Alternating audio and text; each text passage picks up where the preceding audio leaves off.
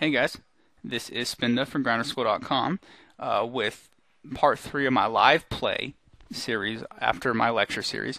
Uh, this week we're going to talk all about uh, the power of position in No Limit Hold'em, uh, specifically small stake six max No Limit.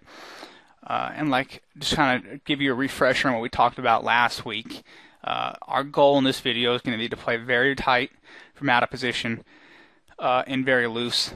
Um, when we're in position. So just getting off the bat, obviously this is going to be a pretty easy fold with 8-5 offsuit, but it'll be a very easy fold with a lot of marginal hands that might appear good enough to people. 7-8 offsuit, 5-6 suited, um, you know, ace ace 9, a lot of hands that may look like uh, they're playable in this spot. Certainly uh, become unplayable because of the fact that our pro- opponent's opening on the button. He's going to have position the entire way in the hand, and that's just going to make it very tough for us to play profitably. So what we want to do is analyze some spots throughout this video where position has either helped or hurt a player being in or out of position. Um, and we'll talk about how our opponents are not exploiting their position. Like we've already seen Martin Bonda um, limp on the button. We know that while uh, it's not an aggressive play, at least he's playing from position. However, we'd much rather see him uh, raise the button there to, to fully you know exploit his advantage and start building a bigger pot. And this is an interesting hand already. Uh, the pre-flop pre-flop went call and the big blind check, and then he led the flop, and then he checked the turn. So our opponent got a lot of information on our opponent's possible hands um, from his actions. He got to see him bet the flop, and then you get to see his opponent check the turn, and then check call, which is a fairly weak play, and then check the river. So more than likely, our opponent, um, more likely the player on the button, uh, could have used that all that information to his advantage, whereas this player really had a very uh, a small amount of information to go off on.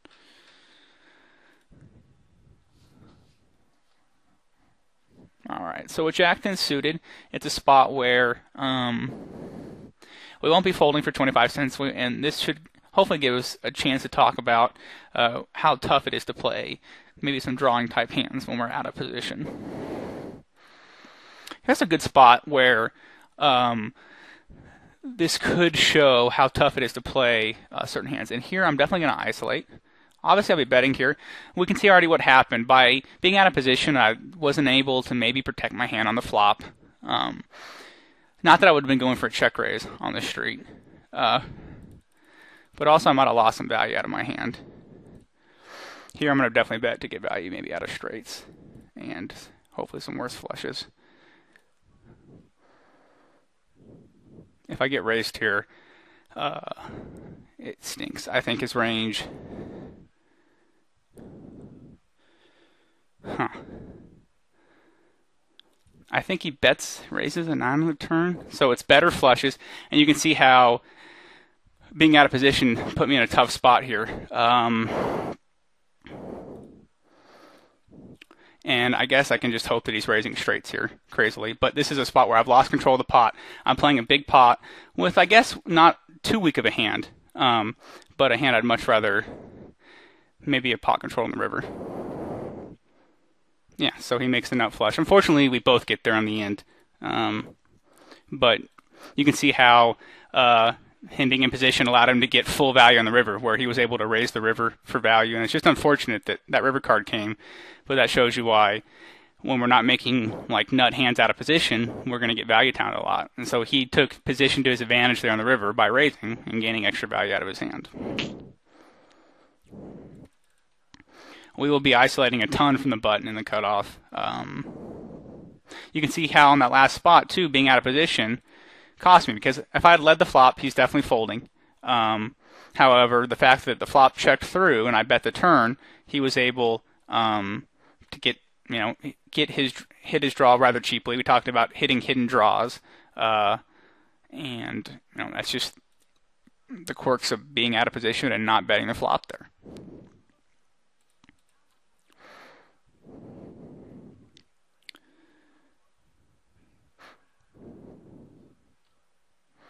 So we'll definitely be trying to raise a ton from their position. Here's a spot where, against this player, he seems kind of passive. I know he did raise that other street. Uh, that's a spot where we can do one of two things. We can bet the flop, looking to go to a cheap showdown, or we can just go ahead and pot control the flop, And if he's an aggressive player, chances are he'll be betting the turn a lot. And we can do what we tried to do earlier, which was snap off a bluff we talked about in the video. Um,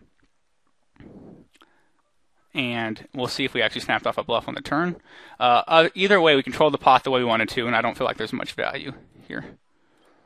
Okay, so we, he's flatting with king queen out of position, and you can see how little value he got out of trip queen. So that's another reason to show you why um, being in position is just uh, so important, right? He got very minimal value out of three queens.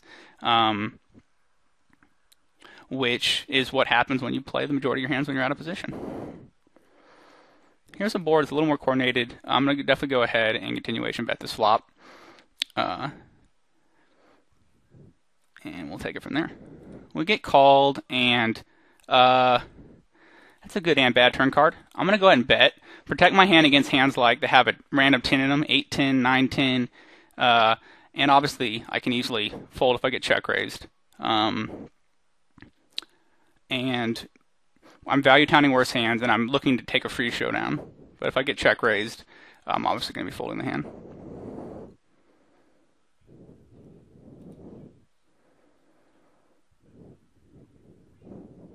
And we go and fold. We go and get folds out of him. Uh, here, pretty easy squeeze spot with the Rockets.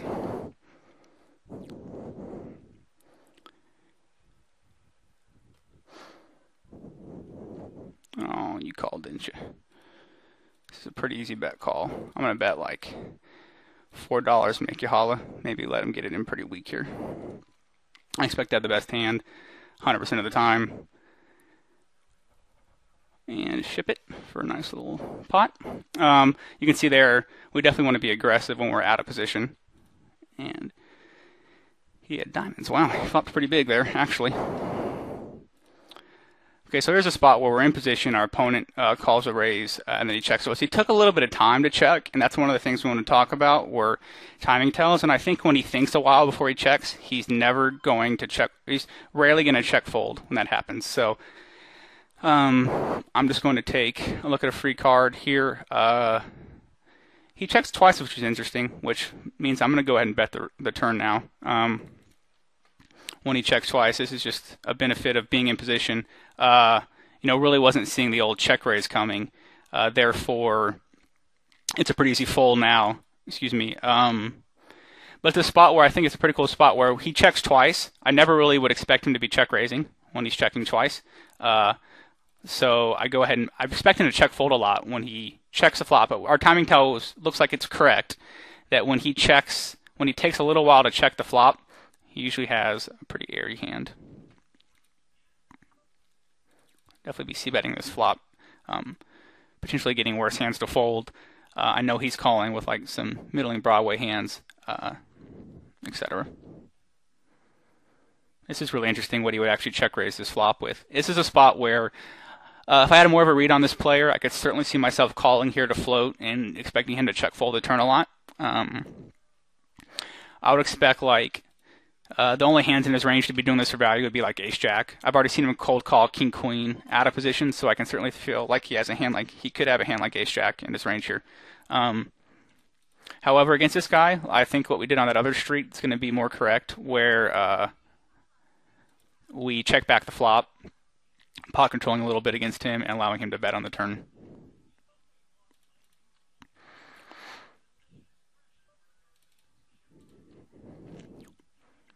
Probably have a pretty aggressive image, but a losing one at that on this table. These players seem pretty loose.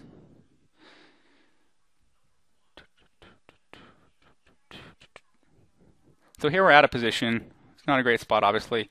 Um, this is obviously a pretty nice flop, though.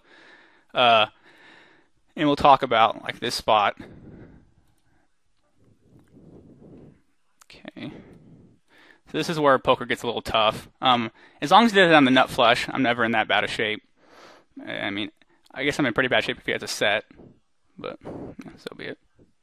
Okay, so my opponents are doing really good at flopping huge against me, and that's a spot where I got it in with about 30% equity, and that's why being out of position is tough. Um, of course, I had about 17 outs on the river, but it didn't hit. Um, but that's just a spot where uh, being out of position is tough. Like I automatically I lose control of the pot, and we can see how that's a pretty tough spot. Um, you know, at higher levels, my opponent's certainly capable of raising a lot worse hands than just flushes on that flop. Uh, however, I guess at this level, it may not be the case. Obviously, though, I mean, I'm not going to play tight to the point where I'm um, folding hand like two kings in early position. Here's a spot where I'm going to lead instead of uh, check because I feel like my opponents are checking back a lot. I flopped a pretty big hand, and I don't mind getting the money in on the flop.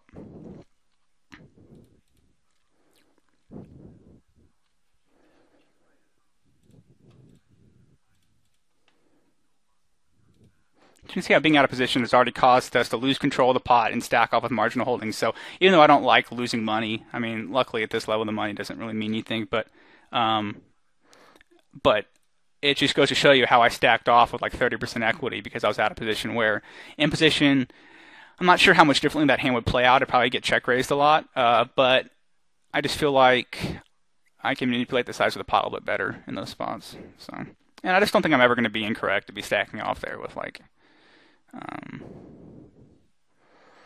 you know, the king eye flush and overpair on that board texture. My opponent can be raising a lot worse, a lot of worse hands. Um, you know.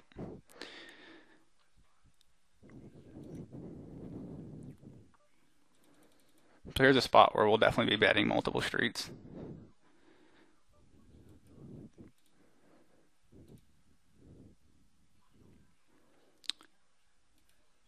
Our opponent's thinking for a while, so if he does call, we can easily put him on more of a marginal strength hand and if you were to call and check raise later, it'd be much easier to put him on more of a stronger hand uh, because it looks like he maybe was thinking between calling and raising on the flop compared to calling and folding uh, if he raises later. So using those timing tells, we could use those timing tells certainly to our advantage on later streets.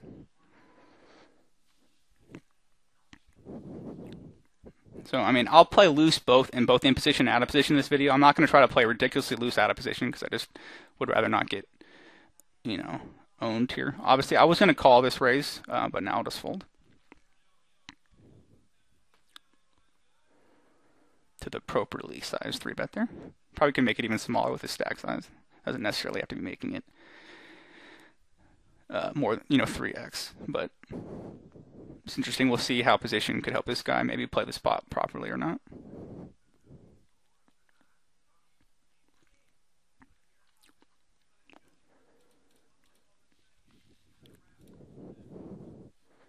I would probably need another player to come along to play this 8-9 suited profitably from the small blind. And once again, we want to be playing pretty tight when we're out of position. So uh, a spot where I, I, think this kind of guy is never really folding to a 3-bet, um, which means I'm just going to tend to take more of a value 3-betting range against him.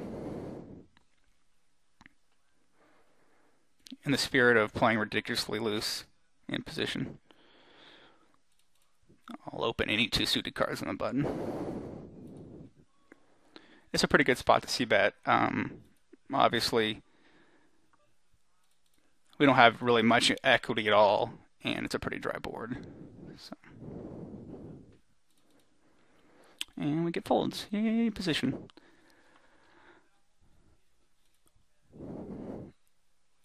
So, you know, one way to just to kind of figure out how much better position is is obviously to play a ton of hands from position. I'd rather do that then um, play a really wide range out of position, just to understand how awful it is when we're playing out of position. Um, so, you know, to keep those things in mind, uh, that, uh, you know, if you're trying to learn how much better position is, let's start off by playing a ton of our range from position, you know, in position.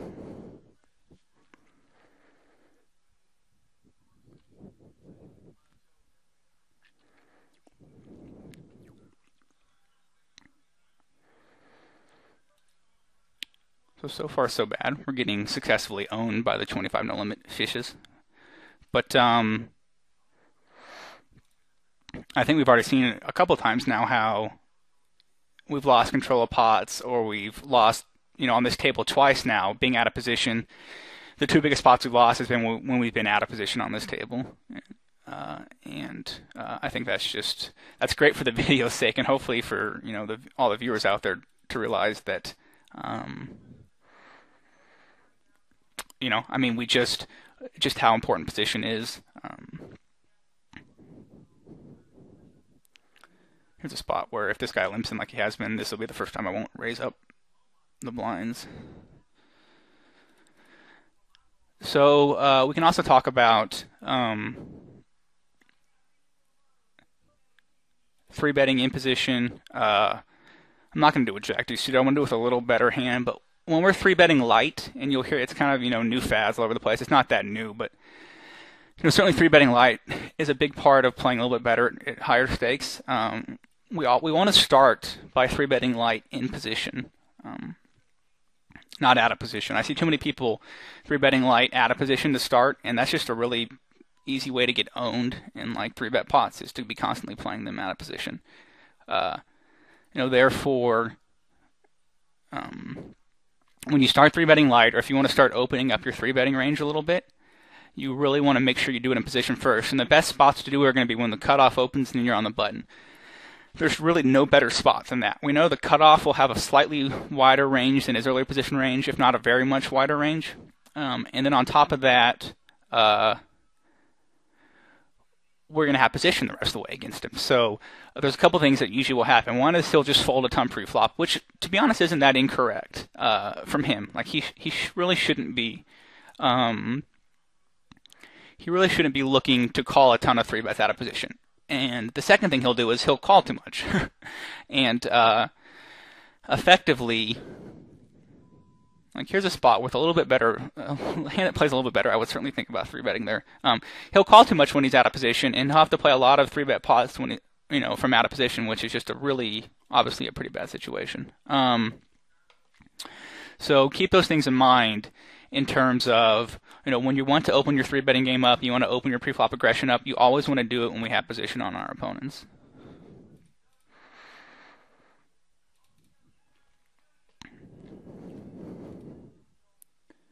Obviously, we're just going to be constantly opening the button when we get a hand as strong as ace queen suited. I mean, that's just an added bonus, but our buttoning cutoff range is obviously going to be very, very wide for this video. Um, probably, if I look at it later, hopefully something in like the 60 or 70% range. Um, a little bit, a little bit of it depends on how loose the players are on our left, uh, in terms of more in the cutoff how loose the button is. But um, you know, the majority of the time we're going to be uh, calling it. I mean, uh, we're going to be opening a ton on the button and as much as we can on the cutoff. Uh, this is a spot where calling a three bet would be pretty bad. I really don't like your three bet size. I think it's way too big. Um, I could four bet bluff here, but uh, this is his first three bet at the table, so I'm just going to have to give him credit. But certainly that wouldn't be the worst spot uh, to four bet bluff, cutoff versus button. Just for what I just said, it's really easier for people to be three betting the cutoff light um, from the button. I just need the ace three hearts over here. Maybe we can look at this pot to see how position played out in this one. Interesting small river bet. Looks like he's going for some thin value. Um, maybe out of like a mediocre flush or like going really thin with like ace queen or something. Um, I have to look at the hand history to see how that hand played out because I, to be honest, I wasn't paying attention. That was an interesting river bet. Um, who raised pre-flop, bet the flop, bet four on the turn, and then check forward to the river. That's kind of interesting. Uh, so the thing we see from Who is uh, that being out of position didn't allow him to see a free showdown, even though he bet the flop and turn, which is a good way to charge your opponent who's drawing against you, possibly. Um, you're still not guaranteed to see a free showdown uh, when you're opening, you know, when you're out of position. Um, I guess I could bring the replayer in here, uh, but it kind of plays it fast sometimes. Um, but you'll see he raises pre-flop. He calls and bets the flop, bets the turn, and then check folds the river. Um, which just goes to show you that when you're out of position, it's just really hard to see a free showdown or a cheap showdown. And with a shorter stack on the button. I'm not going to open this hand.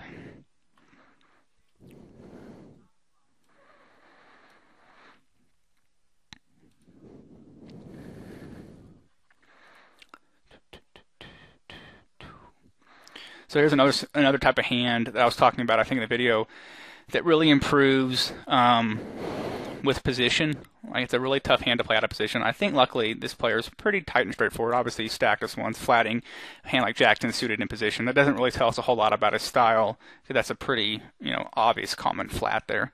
Um,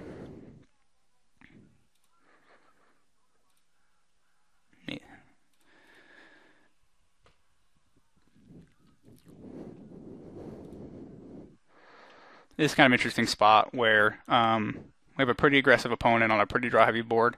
Uh, it might really behoove us here against this type of player to check back this flop and to analyze the turn card, especially the timing he took on the flop. And that's a great turn card, obviously, for our hand. Um, so we'll definitely be betting here if he checks again. And the question is whether we want to raise or not uh, if he calls. I mean, if we want to call if he raises here on the turn, but uh, yeah, it's just a, a, spot where I could bet multiple streets to protect my hand. Um, but against an aggressive player, I'm going to tend to check back that flop and see the turn card. Against a more passive player, I certainly would have bet the flop there.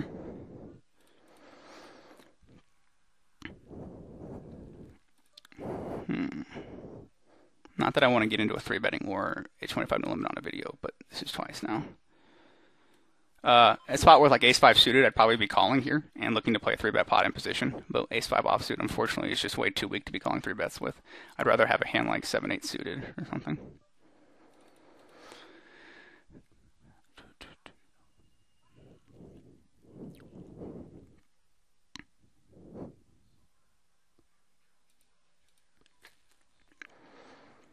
So there's a few things we can do when we have an aggressive player on our left. Uh, one is going to be to tighten up our preflop range, or two is going to be to fight fire with fire. Um, and it's kind of up to us what we want to do. So here's a pretty cool spot. Uh, he took a little while before checking. Obviously, I'm going to be making a larger c bet on a draw heavy board. Um, unfortunately, he just check folds. It's good to run like me sometimes. When you flop an overpair with a flush draw, they have a flush flop a set, they check fold. Uh, he like insta check this flop, so I'm gonna assume my king high is the best hand a lot of the time, and just go ahead and protect my hand against like random small spades, or just any two free cards. Um, and once again, there's some information I gained by his timing. So like here's a hand I might normally open, but this guy's been three betting a lot and just doesn't want to seem to give up uh, like his blinds to us. So exploiting that, and I mean, obviously I hadn't seen this player open yet, but um, a way to exploit that is just to tighten up, and then also to stack off just slightly lighter pre-flop. He's just very loose. Uh, here, this guy doesn't have enough money to run a bluff or anything on him. This wouldn't be a bad card just to shove on. Obviously, that I have six high. I doubt he was even fold a king.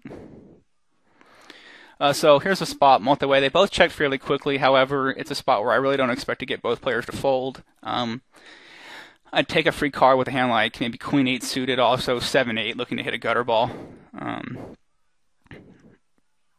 it's a spot where also with like 9x against an aggressive player, I might find myself checking back the flop a lot. Uh, they both check twice, which is some information I gained from checking the flop. Um, so I'm going to go ahead and bet this turn. I don't expect to get called in either spot too much, and obviously I expected to hit a straight. Um, so this is a pretty no-brainer. And there's an advantage of position. I got uh, I hit a hidden draw for one, um, which is awesome, and uh, I got maximum value out of my hand. My opponent had two fours, so I was even value betting uh, the turn. Sick call in the river. You just don't like money, sir the only explanation. Uh, here's a spot where if another player calls, I'd probably call it the ace six suited, but once again, okay, I'm gonna call now. I'll, uh, it's a pretty good hand for a multi-way pot.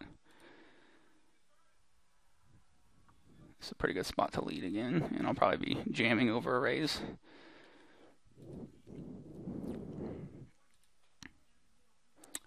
So you can just see how being out of position forces me to play my hand a little more face up than I would normally like to.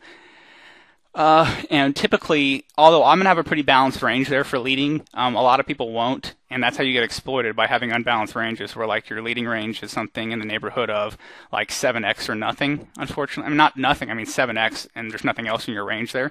Um, and I think that's pretty incorrect. So uh, that's why a better player can play, I guess, less incorrectly out of position than a worse player, but it's still hard to play profitably when you're in position.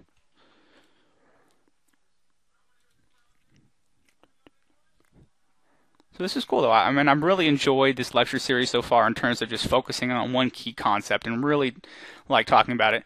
I mean, you guys get a lot out of the videos, I'm hoping, but I also um, refresh a lot of key basics in my mind that maybe from time to time uh, I find myself straying away from, like playing too loose out of position, getting into three bet wars when I'm out of position and stuff like that. And uh, I think making these videos has helped keep me grounded in a sense. Like here's a hand I would normally open. Obviously not now. I could flat or three bet. Um, Certainly could three bet here, but I have a really short stack in the blinds, and that's going to stink when like 20% of the time, 15% of the time or so, he picks up a hand he's willing to felt. Uh, I'm not going to fold for 25 cents at min raise with a suited hand. Um, let's run the math. I'm getting two and a half to one. I need four to one, but he's a short stacker, so maybe if I hit, he'll leave. That's like my reasoning brick brick. Um,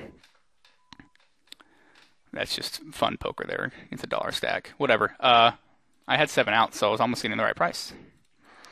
Against a well, actually, I'm probably going to open this against this guy if it folds to me. If he min raises the button, I might stick him in too with the old ace high.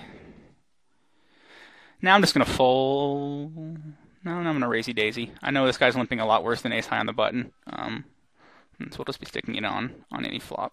Just as good as any, really. Except he's going to have like king two.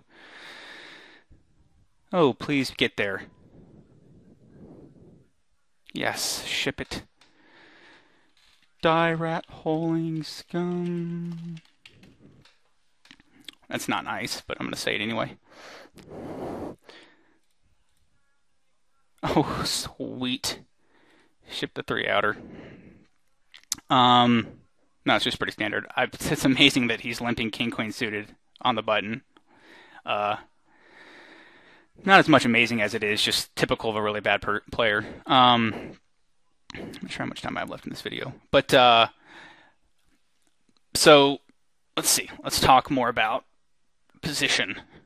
Uh, I was getting into quite a rant about three betting, uh, and unfortunately, we haven't really seen me play a three bet pot in position yet. Um, because I think at this level it's just somewhat unnecessary to be getting in like these three betting battles. Um, like this would be a pretty good spot because this guy's been opening just an absolute ton on my big blind, uh, and I haven't three bet him yet this whole session. So now he's going to play a three bet pot out of position against me, which is pretty interesting. Uh, this is a spot where I just don't have to bet big at all.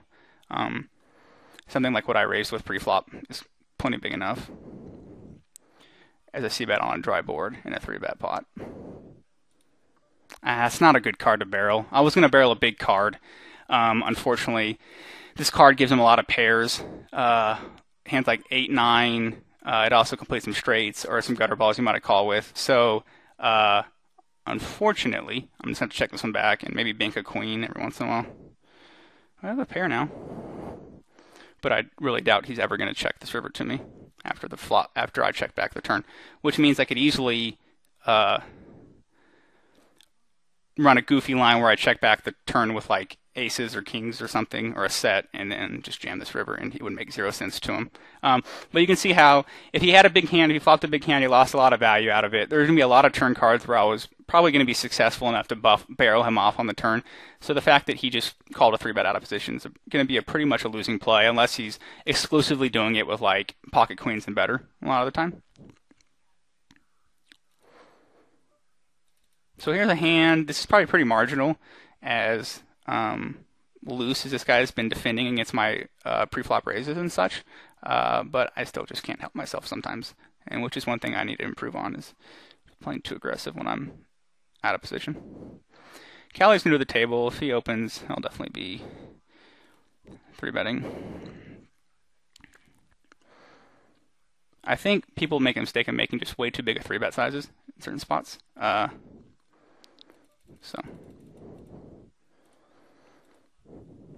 you know, so be it. And there we go. So there's a great spot where, uh, not a great spot. I mean, that's just a typical spot where a person's calling a three bet when they're out of position and then check folding a lot of flops. Uh, and I think the thing that people uh, lose is when they start three betting in position, they tend to do it with too big of a size. Like you can see here, I've just been doing it 3x, which I think is more than enough.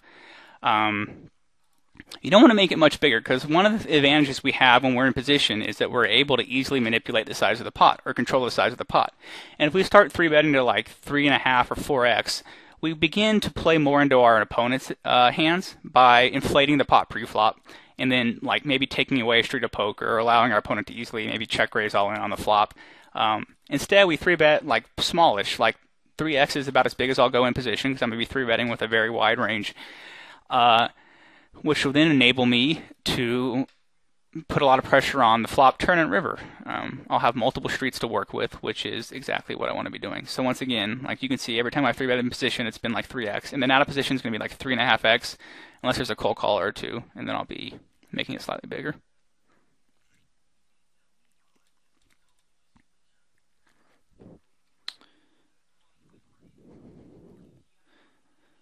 Can't put that guy hero call with fours on the other hand. That hand back there when I won with a straight. I've been so mad if I had been bluffing with like bricked flush draw or something. Whenever someone sends me a hand history like that, I just always kind of give them the "this just in, people aren't good at poker" kind of thing. So I'm whispering that to myself at the moment as well. Um, and that's great. I mean, I think one thing we have to remind ourselves constantly is that people really aren't good at this game. Even like the tight regulars at some of these levels uh, are just pretty mediocre at poker. Like they have pre-flop down um, to maybe not even to the best degree, where they're probably still playing too loose out of position or not loose enough in position.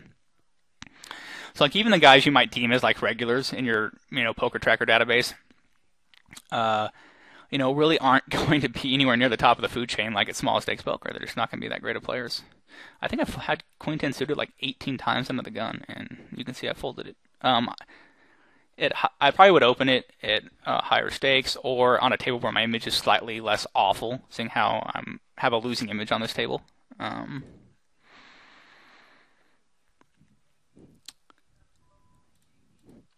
so just once again, open the button a ton. Uh, I'm not going to four bet bluff this hand because the stacks are deeper and it's like perfect stacks for him, like five bet shove on me, or he's not going to fold a lot of four bets if he happens to three bet me here. Um, he's just very loose, uh, which is great. He's been playing pretty fit or full post flop though, so that allows me to probably easily bet this flop and then just give up if he calls, or check raises obviously. But he's just been folding a ton post flop, so knowing that and seeing him check the flop to me um, is great.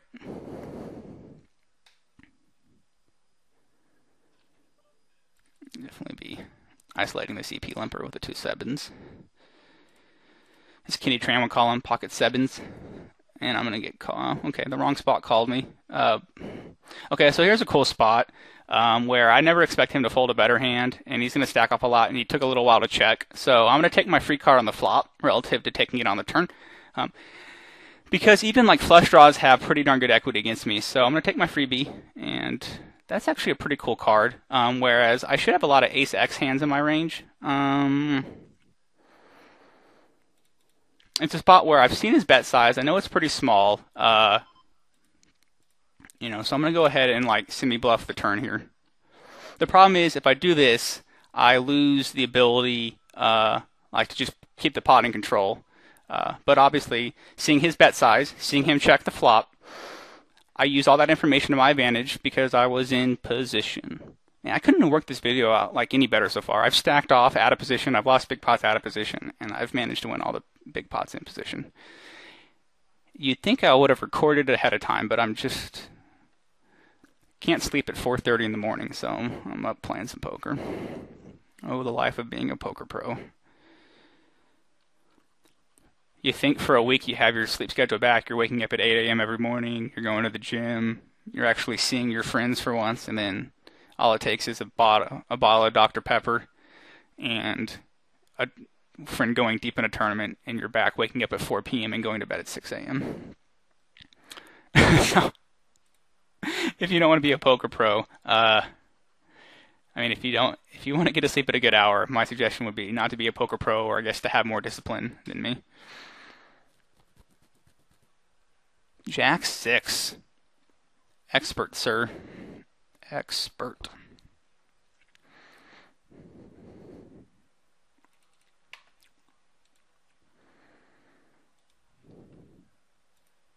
I get to walk with a big hand for once. Um, let's see how that check six hand went.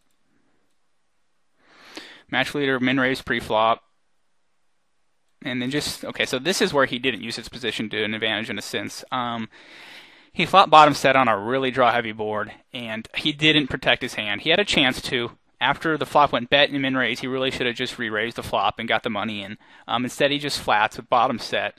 I'm not sure what he's thinking. Is he thinking his hand's beat and he's trying to improve on the turn, or is he really trying to slow play on this draw heavy of a board texture? Either way, he should have used the fact that he's seen a player bet and a player raise to his advantage, realizing that at least one of them has enough to stack off with, if not both of them, and gotten the money in on the flop. Uh, however, he did not do so. So this is what I was talking about: players who um, may appear to have like taggish stats or may not appear to be too bad, but they just make incorrect plays a lot of the time. Um, so boo, boo to him. Should have played that better. But um, what are you gonna do?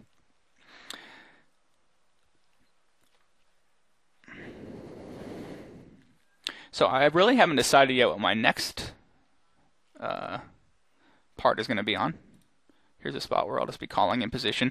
Um, obviously, set mining in position is a really uh, pretty profitable, um, unless we have like a well-known squeezer behind us. Um, then it becomes less profitable.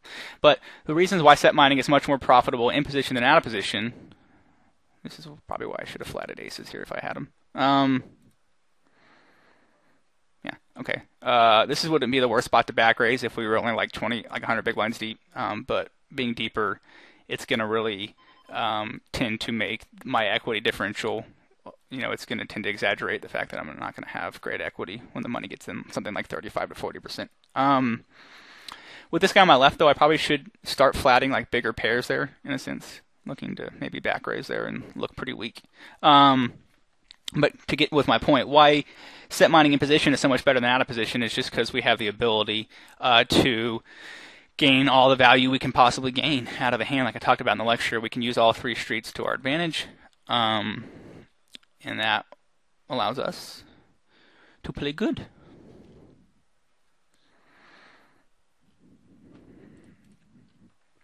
I have aces like four times this video, and I'm down like 30 bucks. So, grats. So once again, though, I mean, I, what I'll probably try to do in the last 10 minutes, maybe open up the PT stats and then just observe uh, how loose I played um, in later positions.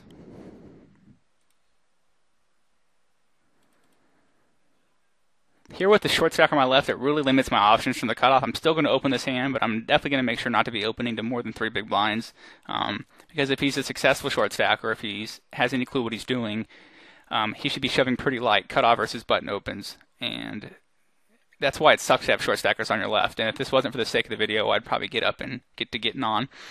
But um, you know, let's do it and see see what happens here. Like he flats, this is impressive. Like if he's a if he's a professional short stacker, this is always a really big hand, and he did it really quickly. But I'm gonna guess Arnold 1948. Um, looks like he's like a 61 year old nit. Um, uh, here's a spot where I think he'll bet a lot when I check to him. So I'm to check raise instead of bet. Okay, well, I'm definitely to check raise this board. Hmm. like, the min bet doesn't mean much to me. And uh, I'm sure he'll have a deuce or a better nine, but whatever. Oh, okay, so we got him to put 20 big blinds in with ace 10 high, and he got there twice. So it's a bit unfortunate, but uh, yeah, I mean, whatever short stackers. I guess I the gods got back at me for sucking out on the other short stacker. Whatever. Um, you know, that's a spot where I think like on that board texture, if I check, he's always going to bet. I wasn't. I mean, I was pretty sure he was going to bet fold to a 25 cent bet, like when he did that. Um, so I was a little surprised when he stuck it in, but obviously I'm pretty much caught. I'm pretty much pot committed at that point. It's like uh, 250 to win tens. I'm getting three to one on my money, um, which means I'm never folding top pair. Uh, expert play by him though. He's flatting ace ten. I think it was suited. No, it was ace ten offsuit. So he's obviously not a professional short stacker because a professional short stacker would never um, flat ace ten offsuit there. Uh, whereas, like, if I'm playing against, I don't want to toss a few names around, but there are definitely some really, really good short stackers who play just a ton of tables and have poker down pat and uh, or the, their strategy down pat and uh, they're certainly never really flatting anything but like aces, kings, and queens there. Like maybe not even queens. Um, so you know, just be careful in that sense of uh, you know, against the good short stackers when they flatten that spot. Against the bad guys like this, it's just still a wide range, and he just doesn't realize it's pretty incorrect to be flatting, you know, almost 20% of your stack there pre-flop. Uh, not gonna do it out of position. I'm not gonna lie, I normally would, but for the sake of the video, right? Tide is right out of the out of the blinds, uh, and I probably am using quite a good refresher course. Oh man, nut flush draw and a straight. Why couldn't I have uh, three bet this pot? So here out of position, I'm probably just gonna check fold this flop. Um, I expect him to bet a ton. So if I had a big hand, I'd check raise a lot here. Um, I just expect him not to check back this flop all, all that much. Uh, but he does, and that's not really a great turn card. Uh, so I'm just going to go ahead and still check fold. Uh, if he, like, if he, thanks stars. Hey guys, just so you know, the SCOOP's running during my session. Um, like this is good. I mean, in terms of him exploiting his position, I've checked twice. I've shown weakness. He definitely should be betting a really wide range there. So hopefully he wasn't just value betting. Like I mean, I mean, hopefully you guys will realize when your opponents check twice there, they're generally very weak, and you should be looking to take the pot away a decent amount of time there. Oh, did Arnold show down on that other pot? Could I have stacked somebody? We had two tens. Sick. I get led into um, on a pretty draw heavy board. Uh, here will definitely be, even though this guy's aggressive, uh, I'm going to be continuation betting this board.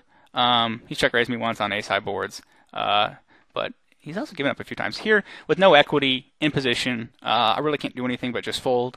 So this guy is leading, calling pre-flop out of the small, out of the big blind, and then leading uh, Jack 10 3 with two hearts. Uh, not much I can do there, but you know, raise my two pair sets, maybe even over pairs and big draws, and then probably just give up, or maybe float some more mediocre hands like 8 9 or something like that.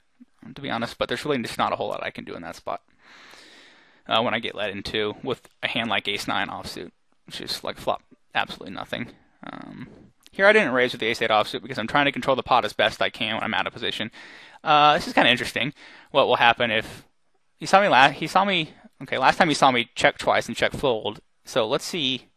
Um, I've checked three times now, and he didn't bet a worse hand. So this is this is what I'm talking about. People that aren't using the information they're gaining uh, from position poker right? I've checked three times, so I'm obviously never have any sort of hand, and he just shows down as queen high, uh, which I guess is like the one hand he probably could show down there, to be honest. So like, I wish it was like, I wish he'd shown down like uh, jack or ten high or something.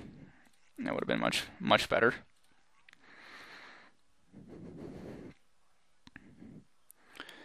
Seven deuce suited is whooping pocket ace's butt in this video, just so you all know.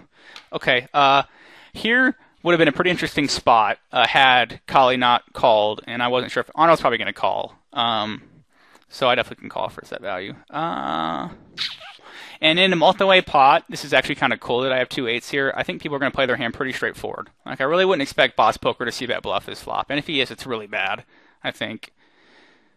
And once again, by being out of position, my opponent took a free card, and he probably got there on the turn or one of them did. I mean, someone has ace X in their hand. So even if he doesn't have an ace, he probably should bet this turn a lot, seeing how we've all checked to him again. Uh, and we get to fold. So you can see how the position, the power position allowed him to take a free card. uh, which then probably allowed him to get there, or at the very least, represent getting there. So, uh, just things could not be working out better to prove my points, but I could not probably not be running worse. Uh, well, oh well, that's poker. Um, I'll be completing here, definitely. This is just too good of a hand to fold, but I'm not going to be raising. And we'll play a draw out of position, or a drawing type hand. And we'll break. Arnold's like gotta have like the nuts here, doesn't he? I mean, he just is really, really passive. Um, and uh, it'd be interesting to see how we'd have to play a flush draw there. So we're going to be raising this guy's limp up a decent amount uh, because we get the information that people just don't really limp that strong in the um, small blind. So this is where I'll probably just flat if Callie opens. Uh, I certainly could re-raise, but I think Ace Jack plays much better if I just flat here.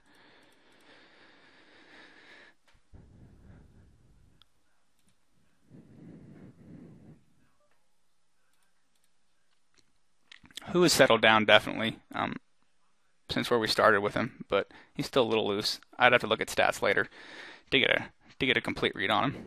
Um, seems kind of loose on this table but I've just really been playing a ton of hands in position. So, uh, and people really haven't exploited the fact that I'm raising the button a ton. I've got three bet a few times, but like nowhere near enough to make up for the fact that I'm just constantly stealing blinds and c betting and taking down pots post flop.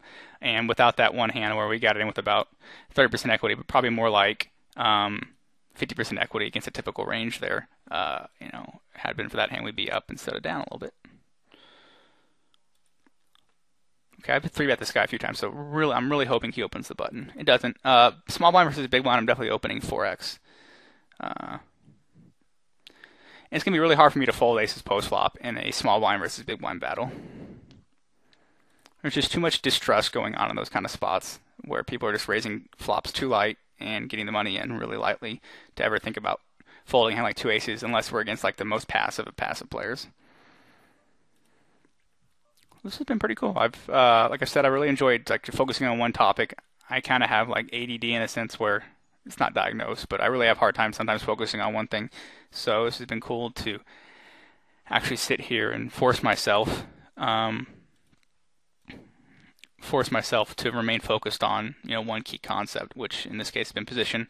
Like I said, I'm really not sure yet what I'm going to be doing uh, with the next video, uh, but uh, I'll think of something cool for the fourth and final part of the series. So you should never um, say you're going to make a four-part series until you know what the fourth part is. You know, that should be like rule number one of any business, I guess, is like don't guarantee something unless you know you can actually do it. So I'll think of something cool.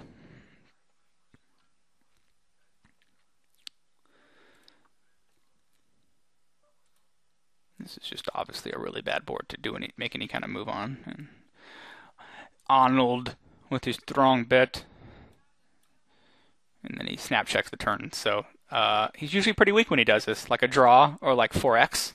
Um, when he like bets the flop small and then like snap checks. Okay, so yeah, he was really weak. Uh, he just had ace high on the turn. Um, and Humperdinck, I guess, had king x three six. Okay, so he correctly bet the turn. It's actually I mean, not like a really impressive value bet by any means, but obviously, um, obviously a correct bet. When his opponent checked the flop quickly, he, I mean the turn quickly, he got all the information he knew to realize his hand was probably the best, and he took advantage of that.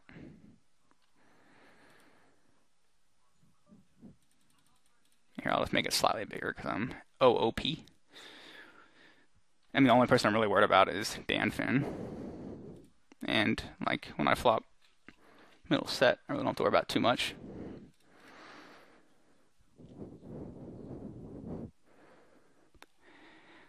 Yay! Keep folding when I flop sets. Poker is fun for everyone. If you haven't checked out the Prahlad Friedman rap, please make sure to check it out.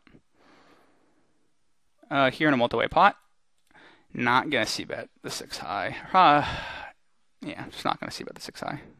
Free card. Might have got me there. We'll have to see what happens on the turn.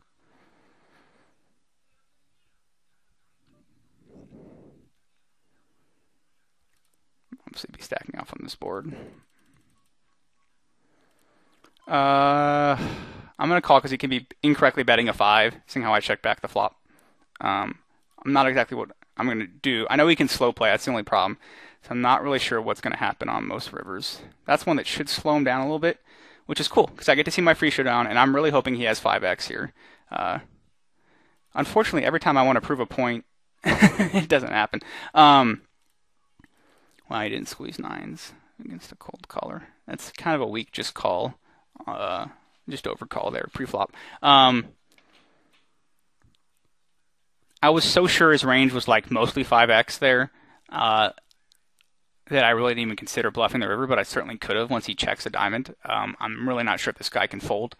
Uh, and my line doesn't really represent a flush draw too much. Uh, so I like the way that I played the hand. I mean, I, I pot controlled the flop a lot of I mean it's it's like the perfect that's the tough thing about making these videos that people don't realize is like that's like the most perfect example ever if he has like ace 5 and it sucks when he has nines but he's going to have like some sort of 5x combo or like betting a bluff a lot of the times on the turn that that's a great example. That's just people are going to watch this video and the ones that won't ever improve at poker are going to watch this video and go, "Yeah, you're wrong, Spenda." But if we're thinking about his range as a whole, and not just like the that was like the top of his range was like pocket nines. Um, uh, if we think about his range as a whole, we played that hand really well. We got our free card on the flop. We improved against a lot of his range, whether it was ace high, king high, queen high, jack high, or 5x, or twos, threes, or fours. We improved against a ton of his range, uh, and we had him lead a probably what I would guess is a pretty wide range there on the turn into us. Uh, and unfortunately, just at the top of his range. And people are just so results oriented all the time that they think that like that's the hand he's always going to show us is like pocket nines, which is just so far from the case. Um, sorry to ramble and if anyone feels like I hurt their feelings, uh, tough noogies. It's really cool how like I flop sets and they fold a flop, and then I flop over pairs with a flush draw, and they have big hands. This Arnold guy is my new hero. I uh, I think just anyone with like their name in uh, their poker name like that, I'm just auto labeling them a fish. It's one of the reasons why I picked my name too, though, because I thought it would like give me a like a fishy type feeling from my opponents. But I guess when your name gets out there enough, people understand that you're not really a fish. Um, it's interesting. Whatever this guy checked on the flop, uh, we both checked. Uh, Arnold here um, checked fairly quickly, uh, which makes me think that this guy definitely should have bet. Uh, and this is why I like being out of position stuff. I, I completed ace nine, but um, you know, oh ship it. Damn, that's half a du- double junior bacon cheeseburger. I want the whole thing. We'll see if we can't get it on this spot. Uh, I'm definitely done after this orbit. Then I'll bring my PT stats in, and we'll maybe look at um, my late position stats versus my early position stats, and we'll see how much of a difference it really was. Because I'm I'm guessing it's a huge difference. Um, just from you know, ah, oh,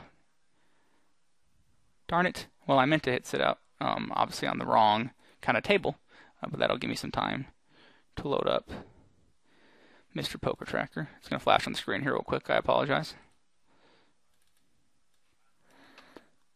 Deal with it. Uh, and we'll just play the last few hands here and hopefully playing them in position. Uh, let's see this is a spot where like these guys are doing an awesome job of never folding. Um, he leads, so this is some information I gained from my opponent that he's probably leading pretty weak. Uh, definitely gonna raise this up. So when he calls, he obviously has either a draw or like a weak top pair hand. The draw comes in, which really strengthens his hand range a ton. Um, so now he has like 9x, and I'm never getting him to fold it, especially after I check the turn. Um, or Jack X. So I'm never getting him to fold it, and he never has a worse hand except like if sometimes he has a 3X, which would have been awesome because I got my free card. But we know it's not going to work out that way in the video. Yeah, he has the nut flush, and we can see how being out of position got him like no value out of his hand there. Um, congratulations, you won a flop raise with a nut flush. So like it's great though. Like we get to analyze the turn card and play pretty much perfectly against what we think his hand range is. Uh, darn, I didn't see how short this guy was in the big blind. Otherwise, I probably wouldn't have raised pre-flop. Or, This guy's just so loose. I probably shouldn't be opening ace five offsuit. I should be. Um, and here I'm just going to fold. Uh, it's really reverse implied odds spot if I happen to. Yeah, whatever. Uh, just out of position against this guy. Let's see if he has a flush draw again and he min bet it. This could be interesting on the river. We're getting some really deep stack play with five whole big blinds behind. I guess impressive. So obviously I'm not going to be opening this hand here. And what I'll do is check out the stats. bring up the old position tab for today. It's really easy when this is the only no limit I played today. And this really could not have worked out better for the video since. Um, from Under the Gun, I played 14% of my hands. Uh, from Under the Gun Plus 1, I played 20%. From the Cutoff, I played 34%. And from the Button, I played uh, yeah, I'm out. Thank you. I played. Uh,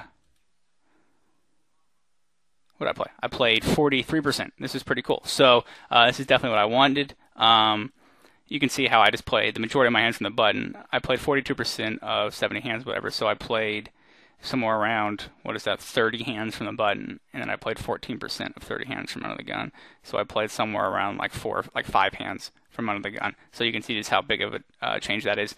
Probably could have played even a little bit tighter out of the blinds. Um, obviously, I lost that one big pot that I'm really not going to fret over, uh, just because I think if I did a poker stove analysis of his hand range in that spot, that I really not getting my money in too poorly uh, the majority of the time, and uh, so I'm just not going to worry about spots like that. There's just different spots to think about in poker where you flop. Like I had a crazy image already. I've been opening a ton of pots. I flopped kings with a flush draw on a monotone board and I got it in and I just don't think I'm ever going to be wrong. I had like 30% equity in that spot anyway for getting it in. So it's it's like not really even that bad to be honest. Uh, especially with my image and the fact that he can have a lot of worse hands. Um, and he can even be bluff raising the flop every now and then.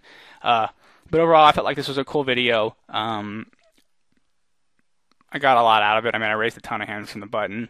Uh, you know, you saw me raising like seven deuce suited, which I'm not going to say is like obviously a, an optimal play. I should have hold, I should have folded. The hand I didn't like that I raised was this five six offsuit. After seeing how loose Bryn was uh, and match leader, I don't think I'm ever stealing the blinds enough there to make it profitable. Plus, my hand's going to be it's not going to make an, enough strength post flop. I should really be like I would much rather be opening like king x here instead of like five six because I think I'm going to be going to showdown a lot with these guys, and obviously the king high uh, fares a lot better. It rates a lot better in that spot. Uh, obviously, though, I mean, opening suited cards, and like the, I don't regret the four six suited at all because it just has a lot more options. Uh, the five six suited and the five six offsuit just seems pretty bad. Okay, guys. Well, I hope you enjoyed part tres, part three of the four part, I guess, uh, video. Uh, this part was all about position, and stay tuned. I guess you'll have to see what the next part is. But once again, guys, this was Spenda from GrinderSchool.com. Take it easy.